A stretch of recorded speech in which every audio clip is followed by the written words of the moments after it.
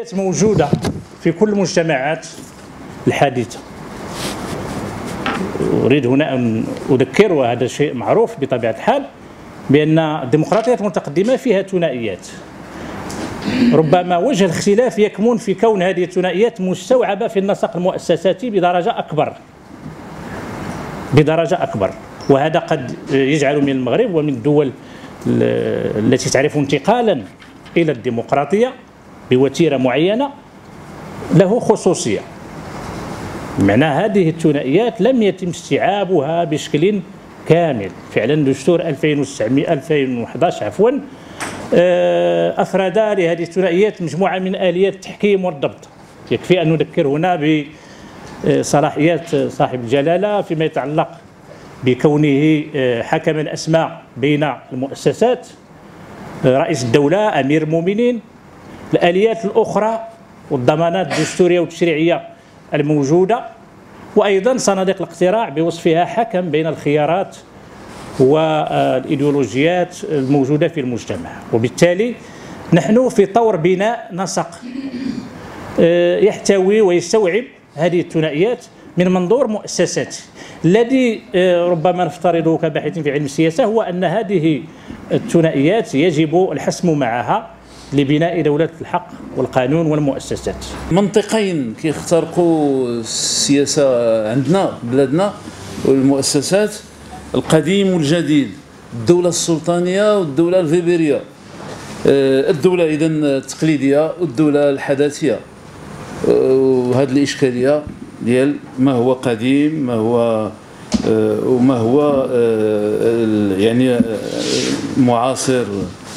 ولكن هذه المسألة كنا كنشوفوها ذيك الوقت كثنائية أشنو داخل ديك الثنائية؟ شنو كاين ديك الثنائية؟ المضمون ديالها يقدر يتغير. مثلا ملي كنتكلموا هنا تحدث مثلا آه، فيما يتعلق بالمؤسسة الملكية تحدث السلطان وهنا الملك الدستوري.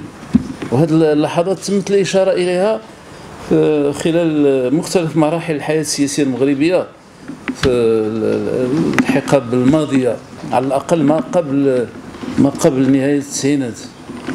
كنا دائما تم تم تحيينها بتمييز ما بين الدولة العميقة والدولة الجارية الدولة المتغيرة الدولة يمكننا نسميوها ديال الظرفية المرحلية.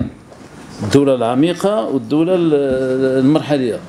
واخا آه، هذا نقاش آخر ونقاش آه، واش آه، كاين هناك فقط تعايش ما بين منطقين بنيتين ملامح ديال تشكيلتين مختلفين.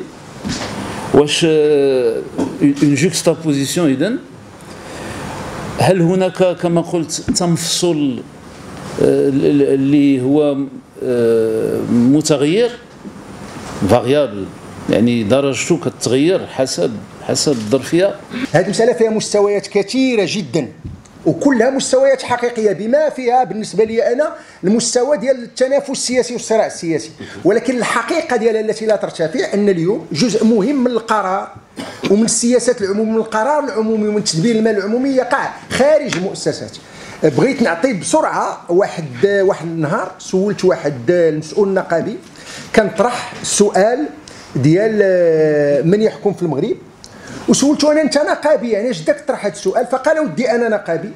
ملي كنمشي نتفاوض مع الباترون ديال واحد المعمل وما كيجاوبنيش وكنمشي للسلطة كنبدا من المفتش ديال الشغل كيخبرني بأن ما عنده سلطة. ملي كتكون بيناتنا علاقة ديال الثقة كيقول لي ودي راه ما عندي ما نقدر كان كنمشي عند الوزير ديال الشغل ملي كتطور العلاقة معاه كيقول لي ودي صراحة أنا راه ما عندي سلطة. ملي كتطور العلاقة وكنمشي عند الوزير الأول وكتولي ثقة بيناتنا كيقول لي ما عندي سلطة.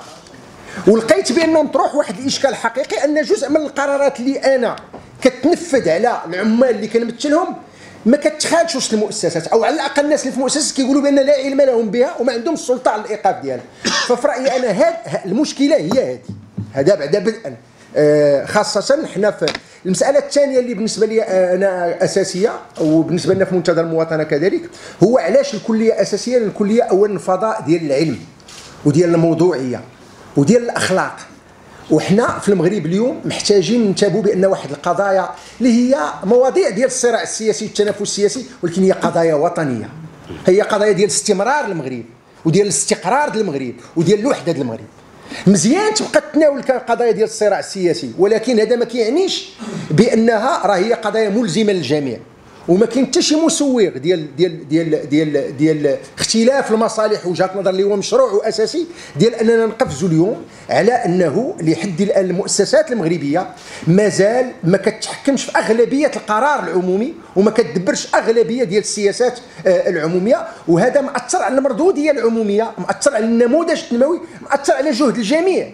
الجهد اللي كتبذل المؤسسة الملكية الجهد اللي كتبذل الحكومة اللي كتبذل الجماعات الترابية اللي كتبذل الأحزاب اللي كت... اللي كتبذل الجامعة اللي كيبذلوا رجال الأعمال كل الجهد ديالهم جزء منه كثير مهدور وقتا وجهدا وإمكانيات لأنه ما كيصبش في الطاحونة الأساسية اللي المفروض تنتج المنتوج العمومي آه، المشترك. مساله الثنائية التي تطرحها الورقة هي أن هي هناك ثنائيات كثيرة تطرح في مراحل مختلفة وفي سياقات مختلفة.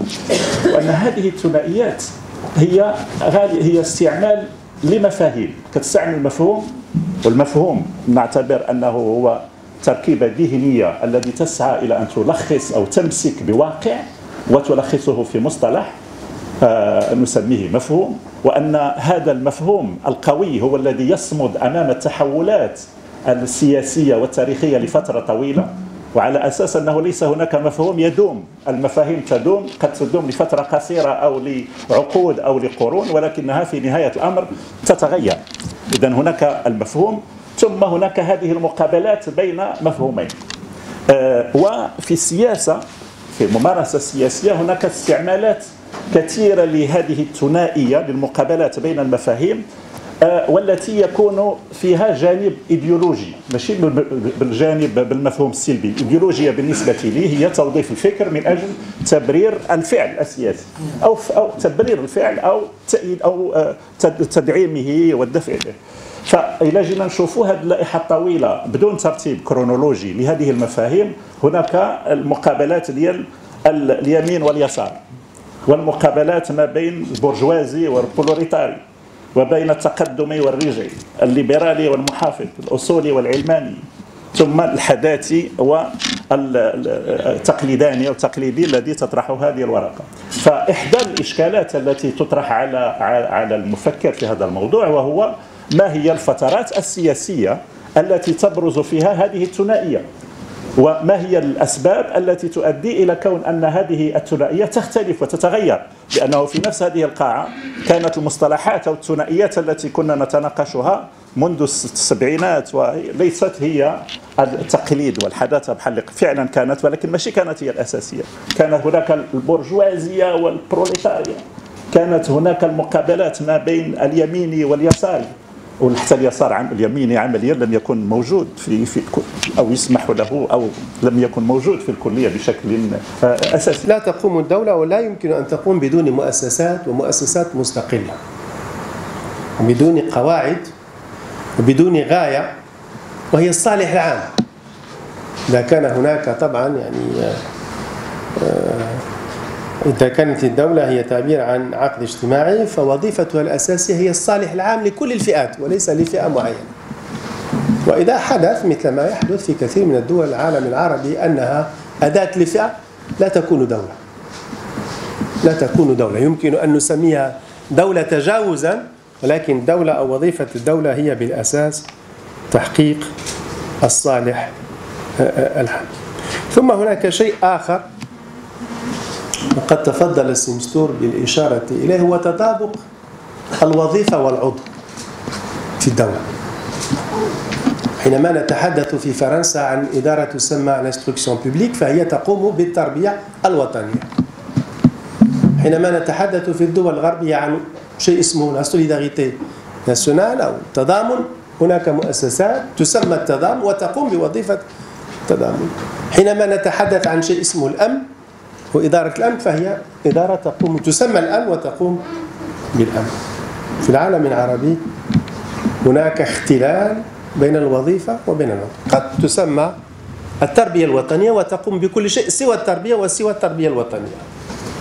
قد تسمى التضامن ولا تقوم بشيء اسمه آه، آه، التضامن. ولذلك أنا أعتقد بأنه من الشيء الأساسي أن يعني يتطابق يعني العضو والوظيفة. بالإضافة إلى أخلاقية في الدولة. يونيتيك